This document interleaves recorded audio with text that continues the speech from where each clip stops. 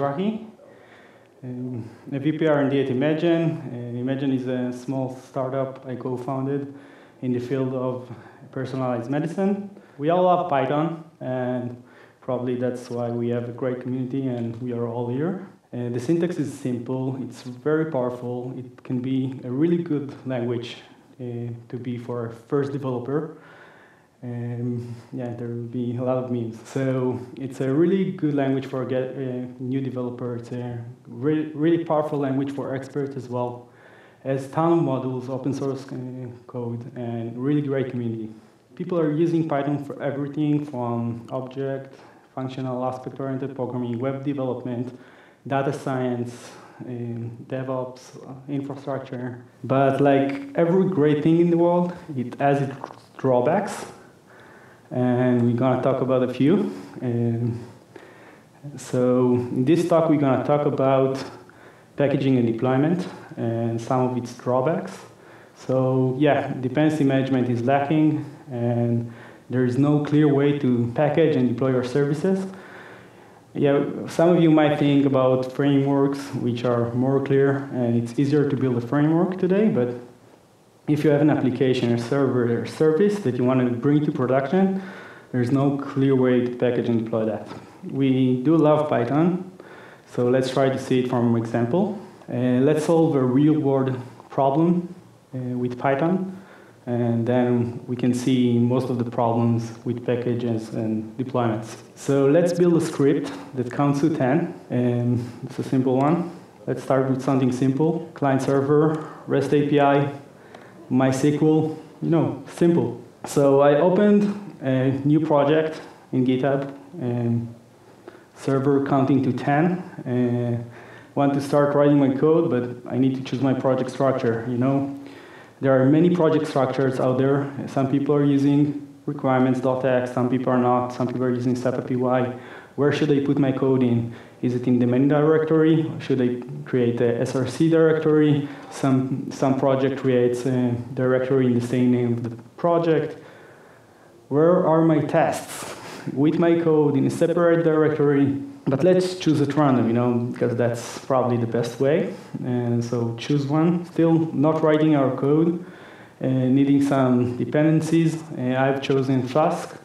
Uh, Flask is a really minimal uh, web framework which allow you to create REST APIs. So pip install Flask, and oops, uh, I did it again.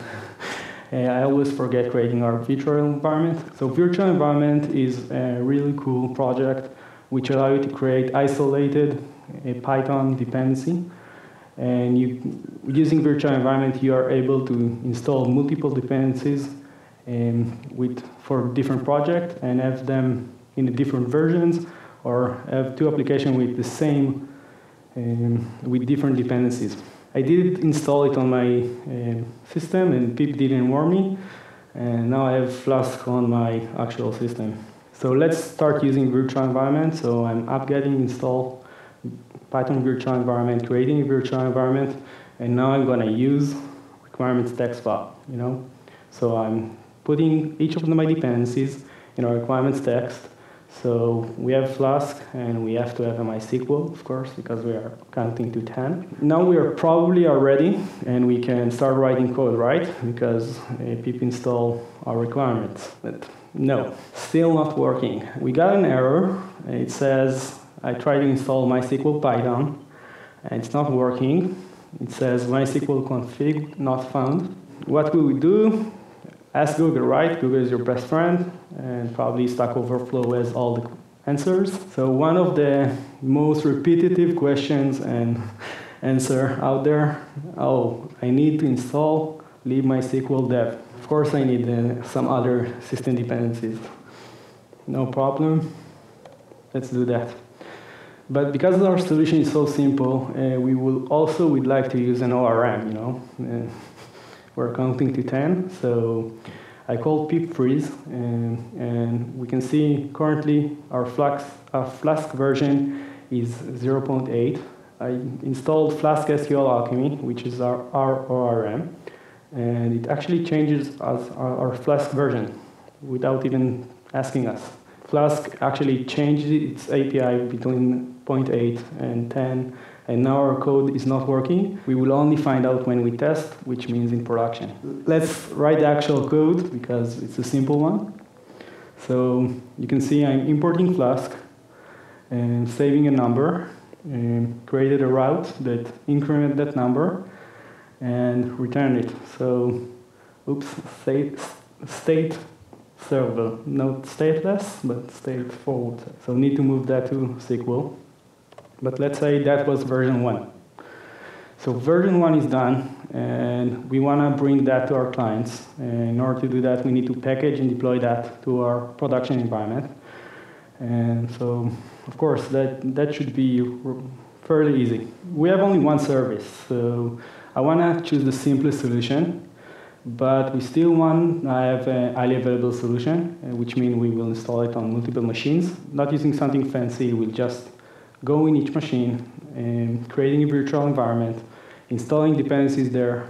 Uh, don't forget your system dependencies as well. Pray the code will work. And some of you might automate that process, right? And, you know, because we don't want to do stuff manually.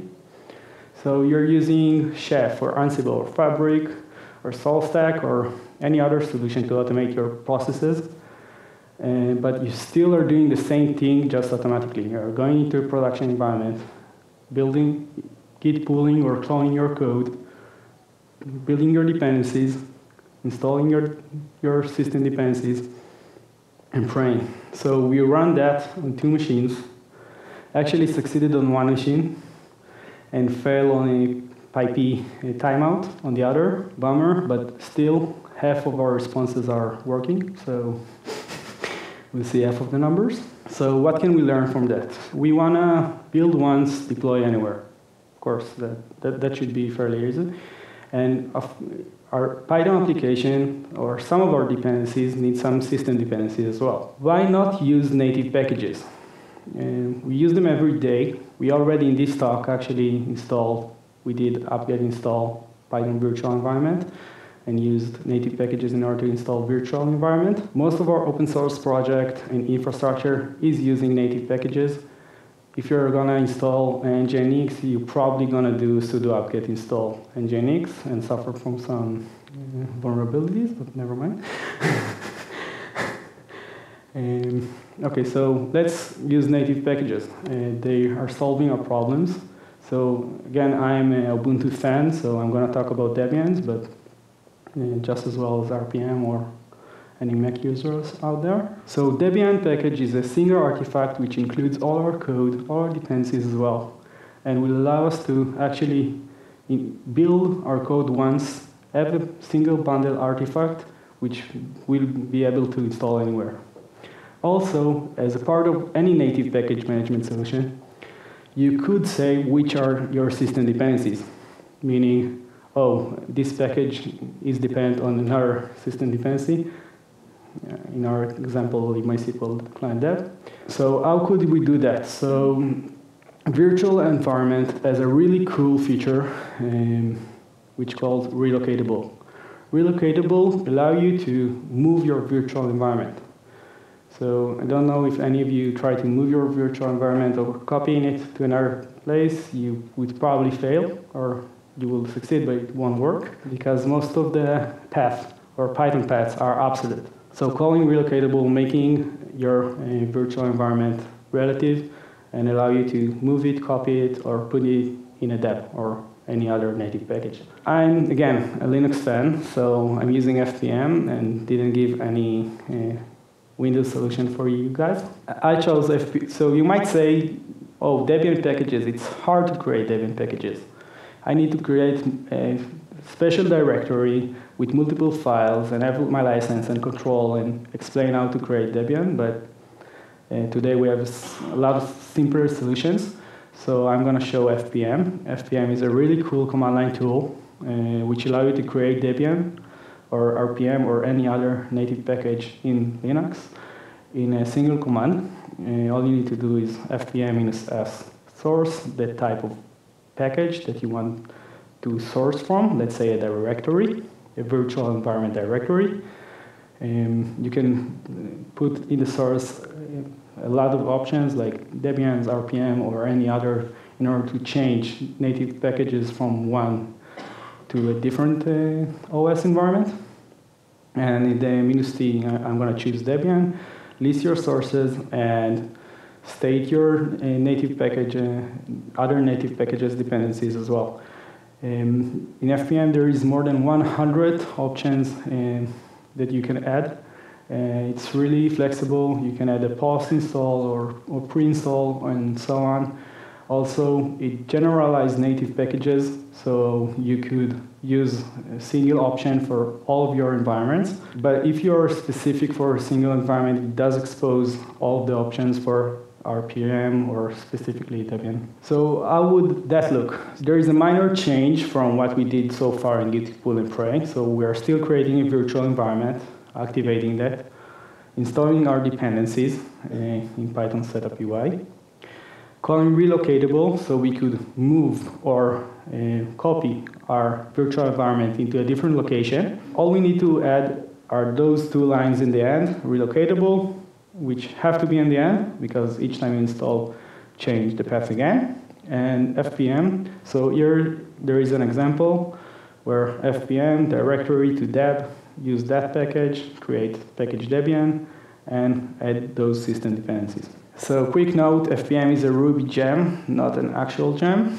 And if you're religious about Python, you could choose stdeb or py2deb or Spotify have open source their make solution, which called DH virtual environment, which also creates Debian packages uh, from setups PY or my favorite FPM. I'm a very opinionated person. So just to summarize what we did in native packages. So we added a Jenkins or again open source uh, or uh, a different uh, build system uh, and created a single bundle native package from our dependencies, from our project.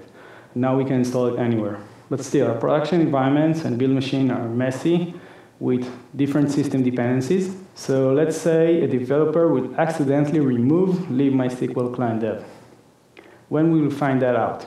Anybody has any clue? Only in a new machine installation. So installing that package on the same machine already has the, the dev dependencies that you need, meaning a machine that had version 1 already had libmysql client in our example, or your deb dependency, and a new machine would not, meaning our test didn't uh, actually check all aspects of our package management, uh, which means production still works. So what can we learn from that? Deployment methods should be fully reproducible, leave um, our production environment as green as possible, and you all need to be more green. And also, when in testing package management solution, you're probably going to need to use a new instance or clean instance each time. Our Git pull and pray added a virtual environment which allowed us to bundle our dependencies as well.